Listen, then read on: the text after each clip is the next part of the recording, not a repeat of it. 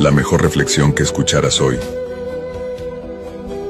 Cuando Elías cayó en depresión, le pidió a Dios una sola cosa, quítame la vida que ya no quiero vivirla.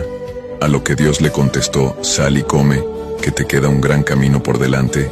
A veces la vida nos pone en el camino situaciones muy duras, situaciones que te hacen pensar en rendirte.